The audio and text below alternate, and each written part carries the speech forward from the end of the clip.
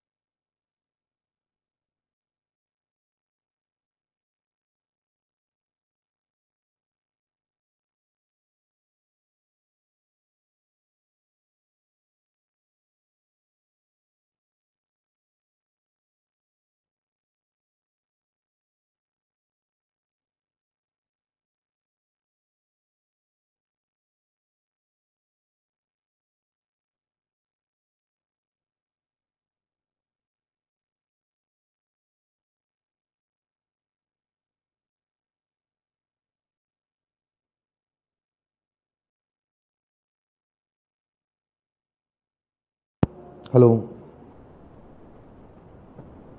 हाँ जी, देखें जरा। Y equals to C plus I plus G and y equals to आपके पास सी फ़ंक्शन ये रहा। डिस्पोजेबल इनकम आप y माइनस टैक्स होता है प्लस हंड्रेड और यहाँ पर सॉल्व करेंगे 60 परसेंट ऑफ़ 50 तो आपके पास में 30 आ जाएगा। माइनस थर्टी सॉल्व करेंगे यहाँ पर तो zero Y minus zero point six zero Y equals to 250 minus 30 तो 220 and 0.40 y equals to 220 and y equals to 220 upon 0.40 decimal हटा के ऊपर आपका दो ज़ीरो आ जाएगा और ये हट गया आपका। Y equals to double two zero upon four solve करेंगे तो वाई इक्वल्स टू ये आपके पास में क्या आ गया? आपका वाई आ गया। क्लियर है जी? समझे? कोई डाउट आपको? तो हमने कुछ 150 करोड़ 0.650 का, आपको कैलकुलेटर तो अलावा है 50 इंटू पॉइंट सिक्स ज़ीरो हाँ थर्टी ठीक है। वैल्यू रिप्लेस गलत करके हमने। Consumption function equals to 150 plus 0.60 Y minus tax tax fifty crore है, प्लस गवर्नमेंट एक्सपेंडिचर। तो गवर्नमेंट एक्सपेंडिचर आपका कितना है? हंड्रेड करोड़ है।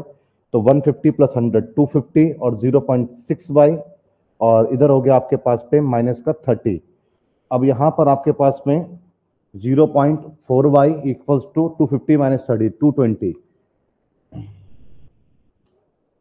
Divided by point four zero. अभी आ रहे कोई? नहीं, पास में है कोई? अभी आ ही रहे रुक जाओ।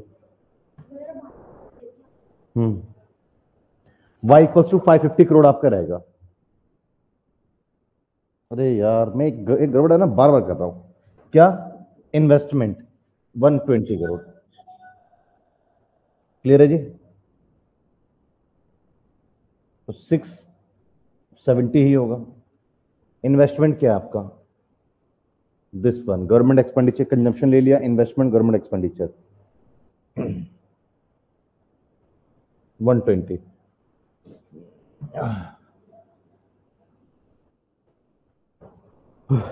चलिए सॉल्व करते हैं.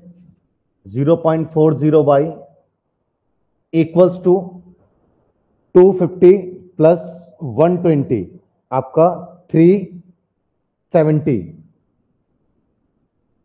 और minus thirty zero point four zero Y equals to आपका 30 तो 340 and Y equals to 340 upon 0.40 and y equals to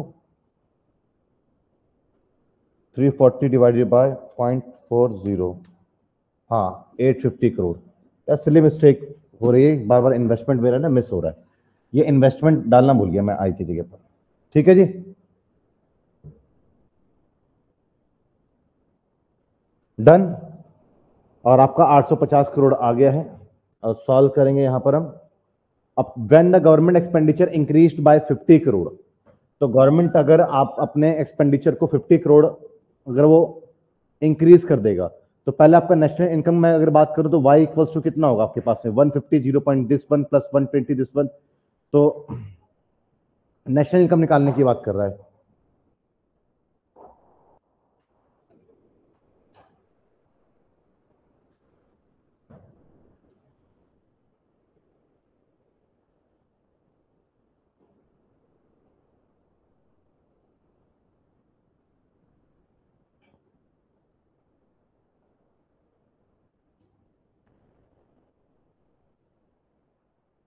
अब सवाल क्या आपका? Change in equilibrium level of income if government expenditure increase by 50 crore मतलब क्या गवर्नमेंट का expenditure अगर जी से 100 से 150 हो जाए क्लियर है?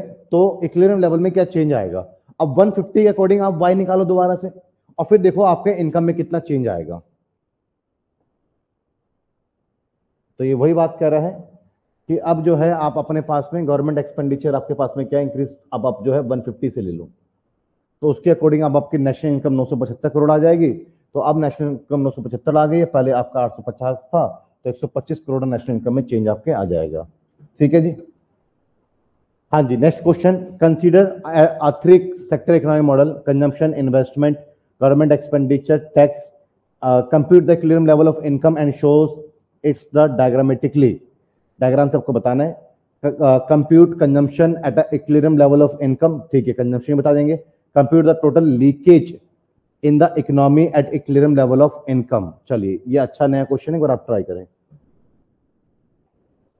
ज़ीरो पॉइंट कैसे हो जाता है सर अरे यार, आप, अक्षय, ये एक इतनी छोटी सी बात आप बार बार, मैं कितनी बार बता चुका हूँ, आपको जब करें कैसे हो जाता है? क्या बात कर रहे हैं? आप देखो यहाँ पर वाई में से ये y में से माइनस हो, क्या हो जाएगा? Zero point six zero Y होगा। तो ये एक होता है। अब आप अपने कैलकुलेटर लीजिए। इसमें लिखिए एक घटा और 0.60 0.60 क्या आया zero point four zero Y का वाई रहेगा। बस इसमें से ये माइनस हो जाता है वाई का वाई रहता है। ऐसे आता है। ठीक है? चलिए एक बार इसको शुरू कर ले।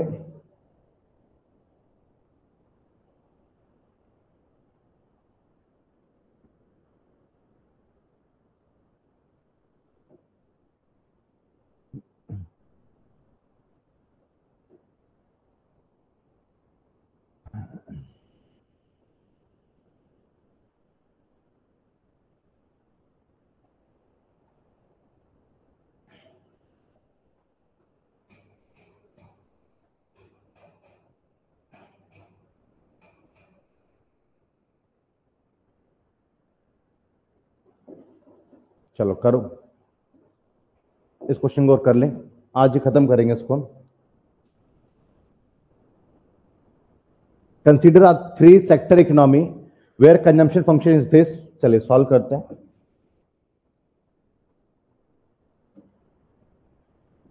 हम्म, ये रहा।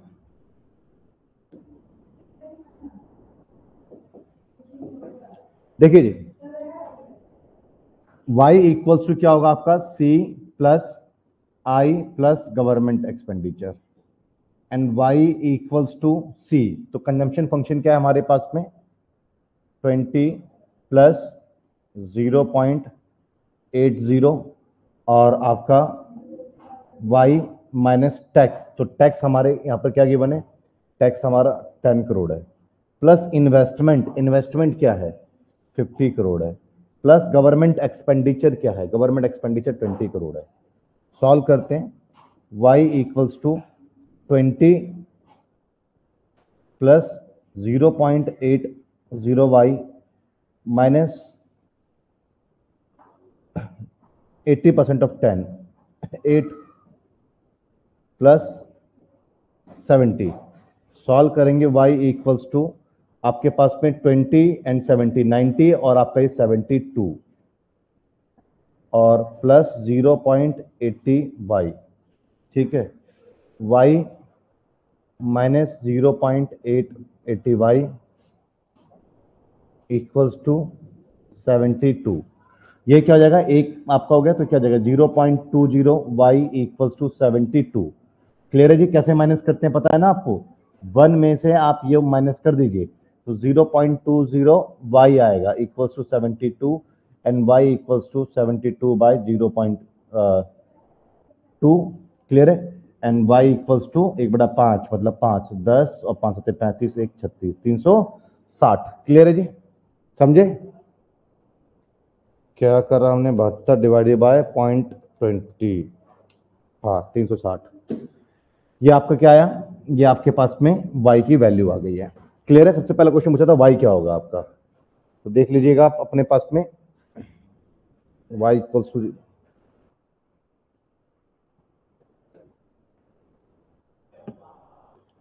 चार सौ दस करोड़ कह रहा है भाई।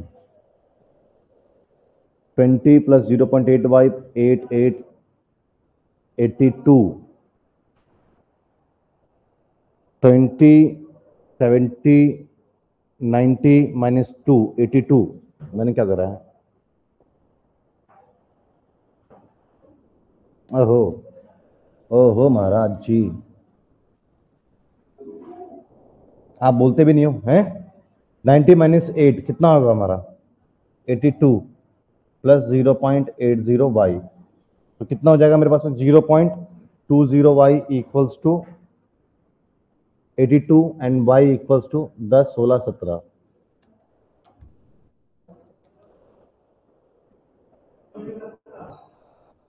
Zero point eight y, zero point two zero y equals to zero point two zero y equals to eighty two, and y equals to eighty two by zero point two zero, and y equals to eighty two divided by 82 divided by point आ जाए ना कई दिन ही खराब होता है कई बार। 410 clear है? 10 और एक, अड़तालीस से इकतालीस। ठीक है। 410 करोड़ आपका वाई आया। बोल क्या रहे? Compute the consumption at the computer the clean level of income and source its diagram diagram बनाओगे तो कैसे बनाओगे? डायग्राम में एग्रीगेट डिमांड बनेगा। पहले आपका कंजम्पशन फ़ंक्शन होगा। दिस वन फिर कंजम्पशन फ़ंक्शन फिर इन्वेस्टमेंट डालोगे, ये हो जाएगा। फिर इन्वेस्टमेंट में आप गवर्नमेंट एक्सपेंडिचर डालोगे, ये आ जाएगा। क्लियर है? तो इस तरीके से आपका ये एग्रीगेट डिमांड बन जाएगा और ये इस तरीके से यहाँ इंटरसेक्ट कर रहा है और ये आपके पास में इनकम हो गया, ये एक क्लियरम पॉइंट हो गया। तो यही तो हमने करा है। अगर डायग्राम की बात करेंगे तो। कुछ इस तरीके से कंजम्पशन गवर्नमेंट एक्सपेंडिचर और प्लस इन्वेस्टमेंट एग्रीगेट डिमांड और एक कट करेगा आपका नेशनल इनकम डायग्राम से रिप्रेजेंटेशन दे दिया इसका। और आपसे पूछ कर compute at the equilibrium level of income consumption at the consumption तो कंजम्पशन फ़ंक्शन आपका रखा गया दिस वन बस वाई डी आप ये वैल्यू देंगे वाई माइनस डी और सॉल्व कर लेंगे आप, आपके पास कंजम्पशन फ़ंक्शन आ जाएगा 340 करोड़। क्लियर है? टोटल लीकेज क्या होता है आपके पास में? लीकेज होता है आपके पास में एस प्लस टी क्लियर है जी? तो एस प्लस टी अगर आप करेंगे लीकेज कि s plus t total leakage पूछ रहे हैं आपसे तो y equals to minus c और प्लस टी सॉल्व करेंगे यहाँ पर तो आपके पास में दिस वन लेकिन आपके पास में एस प्लस सी टी से निकाल सकते हैं ना, आपके पास सेविंग तो आप पहले सेविंग निकाल लो टोटल लीकेज के लिए। सेविंग कैसे निकालेंगे? उसको छोड़ो।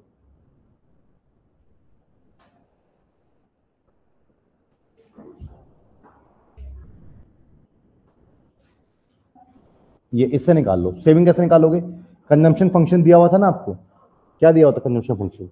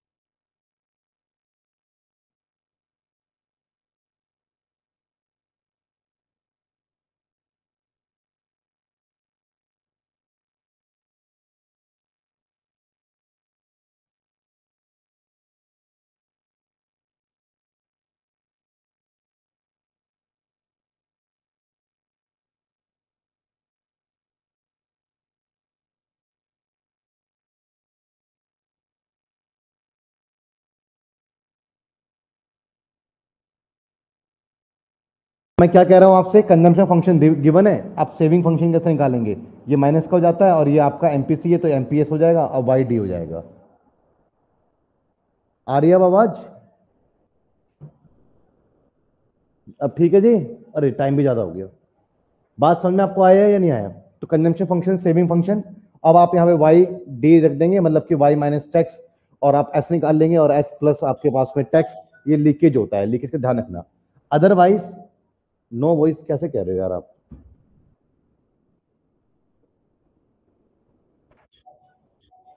जहाँ गवर्नमेंट आ जाता है, बताया ना थोड़ी पहले।